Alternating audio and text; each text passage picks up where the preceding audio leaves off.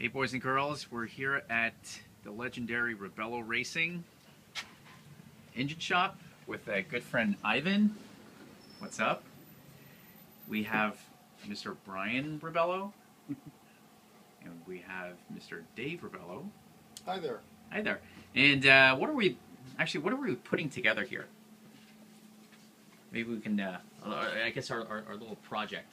Yeah, We, we, we, we can talk about that. yeah, we're, we're developing a 3.35 liter uh, L series single overhead cam engine with a. Uh, the first one we're doing is going to be a tall deck motor with a longer connecting rod, longer stroke, and a bigger bore, Okay. and capable of over 400 horsepower. Okay. So, uh, Brian, perhaps uh, you can kind of explain uh, what, what, what we're looking at uh, over here for something uh, less uh, mechanically inclined uh, folks here. Well, basically, this is just the crankshaft that we got from um, uh, Brian Crower. Okay. And he built this crankshaft especially for us, just for the 3.35.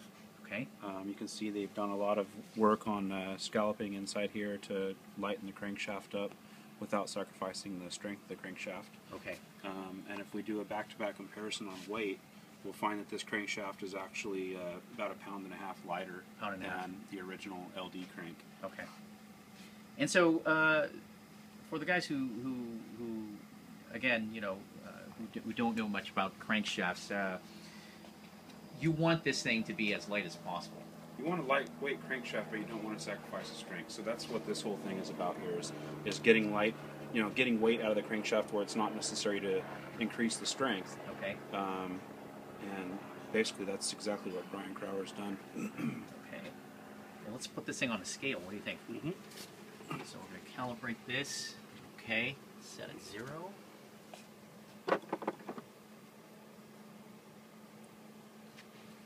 Wow. So it's at 48 pounds. Exactly. Okay. Fully counterweighted. Fully counterweighted. Yep, long stroke crankshaft. Pretty good weight for a, for a big crankshaft. Okay. Okay. So this is the diesel crankshaft. Okay. With a shorter stroke. Yeah. So it's the V, the V0740, which is the Nissan diesel crankshaft. Okay. Calibrate that to zero.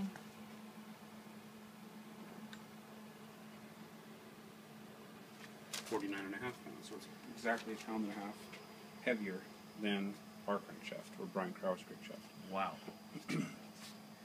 okay.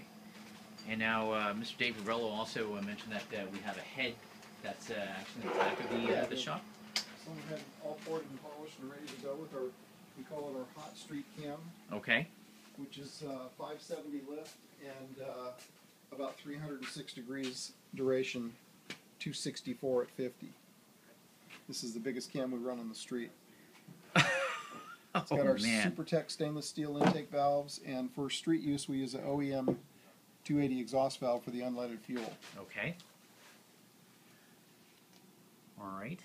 And let's talk about the rods that uh, we have here. Yeah, Uh, we're running the tall deck motor, so this is the rod that we used to use in our 3.2s and still do, which is significantly longer than the stock 280 rod. It's about four or five hundred thousandths longer than the stock rod, Okay. and the, this rod is another 450 thousandths again longer than that. So the benefit to having the long rod and the tall deck motor is that we have the extra torque from the longer stroke, and we have the benefit of the longer connecting rod, which allows the engine to RPM. This motor will easily turn 8,000 RPMs, Okay. and that's why we're confident with, with probably with race gas for now. Uh, on the race motors, we'll get over 400, but on the street, we should be able to get 370, 380 right Okay. there. And now, so uh, here in California, pump gas is uh, 91 octane. 91 octane. Yeah. Okay. Yep. So, and with that, uh, that's uh, part one of the build, and uh, we'll keep you uh, guys informed with uh, as progress. Uh, well, Yep, as the other stages soon. come along.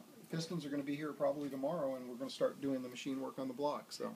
Okay. And also now, uh, Dave, really quickly, uh, if uh, the viewers who are interested in this build, uh, they can order the parts, and uh, yeah, When we finish the development, there may be a kit available. okay, Um, with the three twos, we could never sell the kit because we couldn't get enough cranks. So we would sell any of the three twos we'd build here because they used a diesel crank. Okay. But the benefit to this is it's going to be a little bit more money, but when we complete all the development on the motor, two motor packages, the short deck motor and the long deck motor, Okay. we will be able to sell them in kit form, Okay. and that way we won't have to hoard all the cranks because we can have as many made as we want. Mm-hmm. Okay.